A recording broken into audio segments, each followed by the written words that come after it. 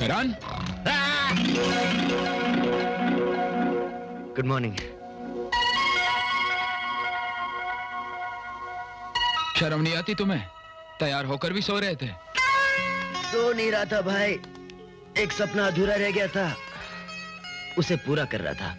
ठीक है ठीक है चलो। जल्दी ऑफ़िस चलो देर हो रही कमान सर अब तो मेरी बात सुन लीजिए वरना अनर्थ हो जाएगा। बोलो। आज आप फैक्ट्री ना जाए तो अच्छा है। वेरी गुड चलो फिर सो जाते हैं।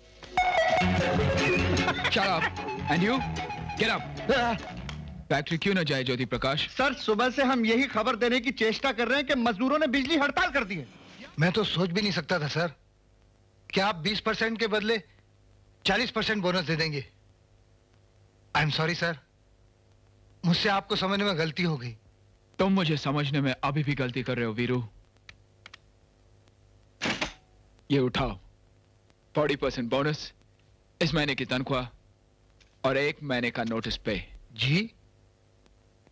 आप मुझे काम से निकाल रहे हैं? मेरी फैक्ट्री में ऐसी कोई मशीन नहीं रखी जाती जो खराब माल बना रही हो। यू कैन गो नाउ ये नाइंसाफी है। मैं लेबर कोर्ट जाऊँगा। बेवकूफ़ आदमी तुझे अब तक अंदाज़ा नहीं हुआ इस देश में गरीबों को इंसाफ आसानी से नहीं मिलता। जब तक तेरा केस लेबर कोर्ट में जाएगा तेरे पास कोर्ट जाने का किराया भी नहीं रहेगा। किसके पास क्या होगा यह भी तुम्हें मालूम हो जाएगा।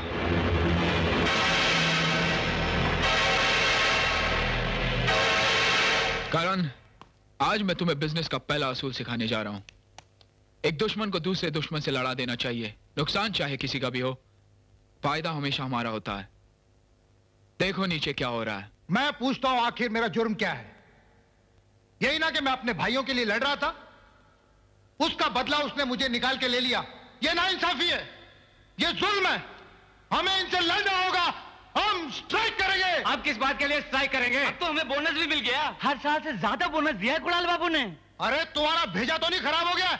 उन्होंने मेरे साथ इतनी ज्यादती की और तुम लोग कुछ नहीं करोगे। अगर हम तुम्हारा साथ देंगे तो हमारा बोनस भी मारा जाएगा। हम स्ट्राइक नहीं करेंगे।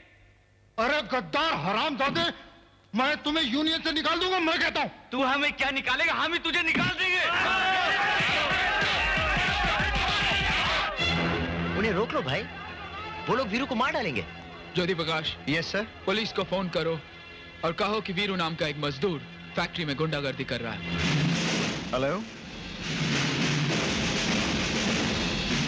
भाई तुम सचमुच बहुत ही अच्छे बिजनेसमैन हो। करण तुम कहाँ जा रहे हो?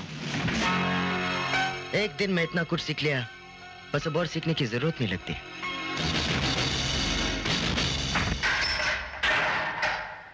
तुम में से वीरू कौन है?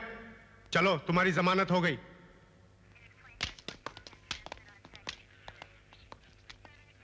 मेरी जमानत किसने दी साहब? इन्होंने।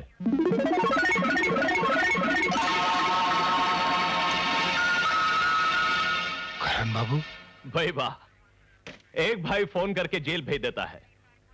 दूसरा छुड़ाने चलाता है। हम्म, वीरू जिस भाई ने तुम्हें जेल भेजा था उसी ने रिहा करवाया है। जब वर्करों ने तुम्हें मारा और पुलिस उठाकर ले गई भाई को पछतावा हुआ। कहने लगे वीरू बहुत अच्छा आदमी है। गरीबों के हक के लिए लड़ पड़ता है। तुम जाओ उसकी जमानत करके ले आओ। बस मैं आ गया। आप झूठ बोल रहे हैं करण बाबू। मैं कुणाल साहब को बरसों से जानता हूँ। उन्हें अपने किसी काम पे पछतावा नहीं होता। चौबे अंदर से फ़ाइल ले आओ। आपने मेरी जमानत क्यों दी? अगर तुम सच ही जानना चाहते हो तो सच यह है कि तुम्हारे साथ जो कुछ भी भाई ने किया उसका मुझे बहुत दुख है। मैं आपसे माफ़ी मांगने आया हूँ। शर्मिंदा मत कीजिए साहब। आपके इस एहसान ने सारा हिसाब बराबर कर दिया। चलिए।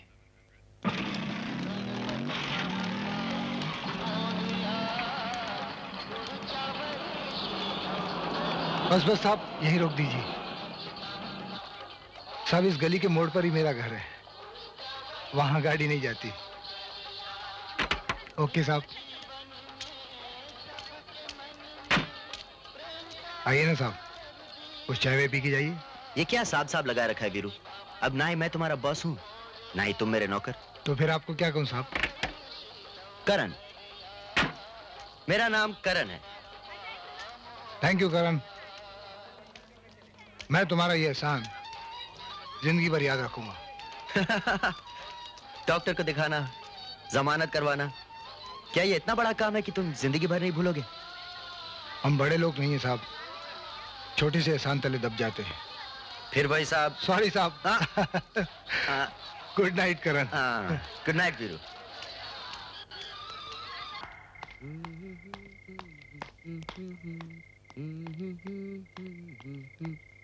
ए भाई अभी तक काम कर रहे हो?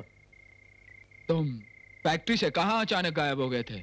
एक डूबते हुए को बचाने गया था भाई। बचा कि नहीं? वो तो बच गया मगर मैं डूब गया। क्यों? नदी बड़ी गहरी थी क्या? अरे नदी नहीं तो गहरी झीलें थी भाई जिनके पास सुरमई अंधेरा और चंपाई उजाला एक साथ दिखाई देते हैं। और झीलों के ऊपर घने काले बादल छाए रहते हैं। जिनसे जब हवा खेलती है तो यूँ लगता है जैसे रात और दिन एक दूसरे का पीछा कर रहे हैं।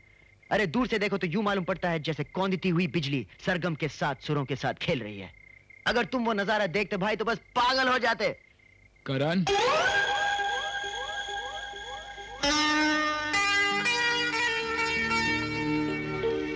शराब की बू तो नहीं आ रही है।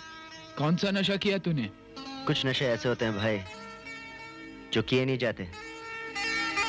हो जाते हैं।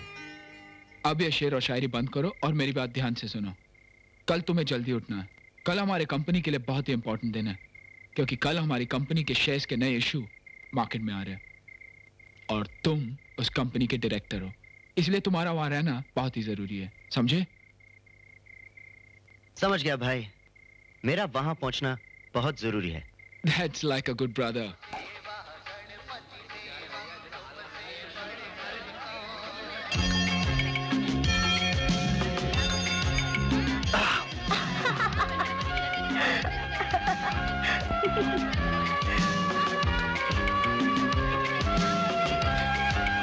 अच्छा ठीक है। अरे करण तुम यहाँ? फैक्ट्री जा रहा था। सोचा सुबह सुबह देवी दर्शन कर लूँ। दिन अच्छा गुजरेगा। मैं तो सोच भी नहीं सकता था कि तुम्हारे जैसा मॉडर्न आदमी इतना धर्म करने वाला होगा। अरे सब उसकी कृपा है वीरू।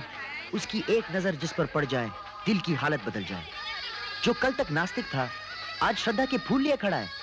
और ये सब एक ही रात में हुआ है वीरू। सिर्फ़ एक रात में। भाई कमाल हो गया। अमेजिंग हाँ तुम कहीं जा रहे थे? अरे हाँ वो क्या है कि मैं नौकरी के लिए एप्लीकेशन पोस्ट करने जा रहा हूँ। मुझे देर हो रही है, फिर मिलते हैं। गुड लक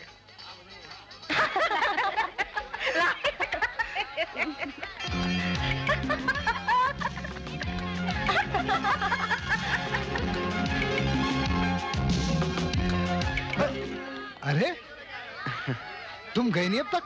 यार वीरू मुझे लगता है अब मैं यहाँ से कभी नहीं जा सकूँगा। क्यों भाई? गाड़ी खराब होगी क्या? अरे नहीं यार मुझे प्यार हो गया। यस अरे भाई किससे? कौन है वो खुश नसीब? अरे नाम ही तो नहीं मालूम यार लेकिन अब भी यहाँ से गुजरी दो मिनट पहले सफ़ेद ड्रेस पहने। भैया! भैया कैसा है मेरा नया ड्रेस सीमा तुम्हारा नया ड्रेस बहुत अच्छा है। अच्छा ये बताओ पहले तुमने अभी अभी किसी लड़की को सफ़ेद ड्रेस पहने जाते हुए देखा यहाँ से? सफ़ेद ड्रेस क्यों? भाई करण उसे ढूंढ रहा है। करण? हाँ। कौन करण भैया? करण शिवा ये मेरा दोस्त है। इसे सफ़ेद ड्रेस वाली लड़की से प्यार हो गया। रियली जी वो बात यह है कि मैं आ, बात मैं समझ गई। बस इतना बता दीजिए क्या वो लड़की भी आपको चाहती है? अभी तक पूछने का मौका ही नहीं मिला। अच्छा तो आप चाहते हैं कि मैं उस सफ़ेद ड्रेस वाली लड़की से पूछूँ क्या वो आपको प्यार करती है? प्लीज़ बहुत मेहरबानी होगी। अरे जल्दी ढूंढ सीमा। वो कौन लड़की है जिसे तकदीर खुद ढूंढ रही है? करण जैसा लड़का लाखों में क्या करोड़ों में एक है? कोशिश करती हूँ। कौन सा रंग बताया था आपने? सफ़ेद। जो सच्चाई का रंग है जो चांदनी का रंग है जो प्यार का रंग है जो तुम्हारे तुम कल आ जाना कोई ना कोई जवाब ज़रूर मिल जाएगा। आपने तो कमाल कर दिया। थैंक यू अगर आप चाहें तो ये कमाल मैं रोज कर सकता हूँ। अभी तो कोई चांस नहीं। हाँ अगले गणपति पर देखेंगे। क्या मतलब? आज ही आखिरी रात है। कल ये पेंडाल उठा दिया जाएगा। अरे ऐसे कैसे हो सकता है? मैंने तो प्रोग्राम बनाया कि हमेशा आपके साथ ड्यूट गीत गाते रहूँ। अगर आप चाहें तो मैं एक म्यूज़िक कंपनी खोल सकता हूँ। मेरे साथ ही क्यों? क्या तुम अभी नहीं समझी कि मुझे तुमसे प्यार हो गया है? बोलो क्या मेरा गीत मेरी आँखें मेरा दिल तुमसे कुछ नहीं कह रहा है। अगर तुम चुप रहोगी तो मैं समझूँगा कि तुम मुझसे प्यार नहीं करती। अगर मैं तुमसे प्यार नहीं करती तो ये सफ़ेद ड्रेस पहनकर क्यों आती?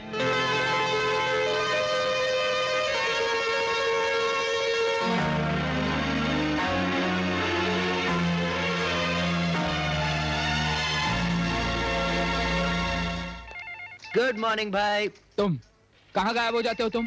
रात को देर से आते हो और सुबह जल्दी चले जाते हो। आखिर क्या चक्कर लगा रखा है तुमने? तुम्हें इतना भी ख्याल नहीं कि अब तुम इस कंपनी के डायरेक्टर हो। शहरी वाले दिन पार्टी में रहना तुम्हारे लिए बहुत ही ज़रूरी था और तुम हो क्या? गले के सर से सिंह की तरह गायब हो गए। तुम निकम में हो नाकारा हो नालायक हो बेवकूफ़ हो इडियट हो। ज़िंदगी भर कभी कुछ नहीं कर सकते। Be serious I am serious आखिर तुम क्या करते फिरते हो? काम। काम? हम्म। क्या काम? मैं एक कंपनी खोलने जा रहा हूँ भाई। कंपनी हम्म। क्या बनाएगी तुम्हारी कंपनी अरे म्यूज़िक बनाएगी भाई म्यूज़िक म्यूज़िक हम्म सुर और ताल का अनोखा संगम। ऐसा संगीत जो किसी ने ना सुना हो ना देखा हो। अगर आपको इस कंपनी के शेयर चाहिए तो माल एडवांस में देना पड़ेगा। वैसे आपको कोई फॉर्म साइन करने की ज़रूरत तो नहीं है। तो तुम माल लेने आए हो। जी हाँ देखिए अभी तो सिर्फ़ दस हज़ार का सवाल है लेकिन बाद में वो क्या है कि हम दस हज़ार तो तुम ले लो। बैठो। ज्योति प्रकाश इसे दस हज़ार रुपया दे दो। जी। थैंक यू थैंक्स मगर तुम हो किस चक्कर में? भाई ये वो चक्कर है जिस चक्कर में हर आदमी घन चक्कर हो जाता है। इसलिए मेरे हिसाब से बेटर है अगर आप ना पूछें।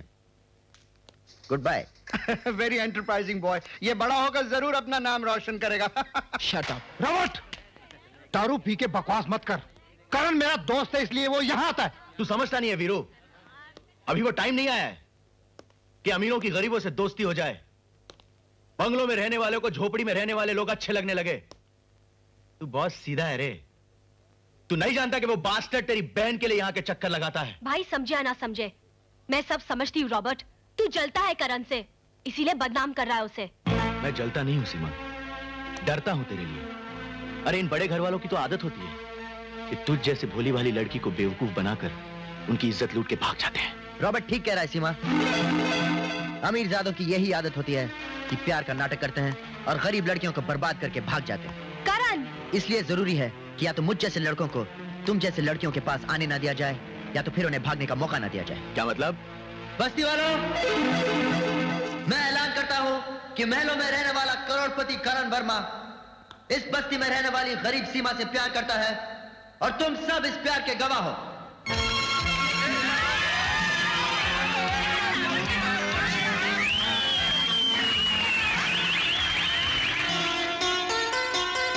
आई लव यू सीमा क्या तुम मुझसे शादी करोगी?